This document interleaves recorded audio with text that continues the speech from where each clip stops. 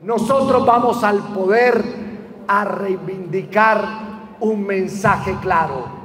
Llegó la hora de las regiones. Llegó la hora de Nariño. Llegó la hora de la Colombia apartada. Llegó la hora de la Colombia rural. Yo quiero que tengamos un gobierno que empodere a las regiones. Que Nariño le diga a Colombia, estos son nuestros propósitos.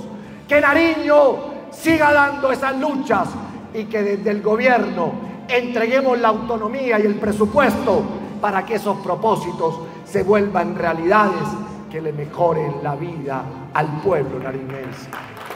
Amigos y amigas, quiero pedirles que los conservadores de Nariño y de Colombia nos pongamos en pie. Quiero pedirles que levantemos nuestras banderas. Quiero pedirles que defendamos nuestros valores. Y quiero decirles que el Partido Conservador hoy está más vivo que nunca y que desde el sur de Colombia le decimos a esta patria que ganaremos la presidencia de Colombia. Muchísimas